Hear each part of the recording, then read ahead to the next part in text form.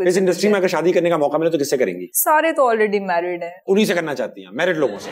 सब आप शादी कर चुके हैं। जी। जी। दो बच्चे भी इतना मैरिड हो।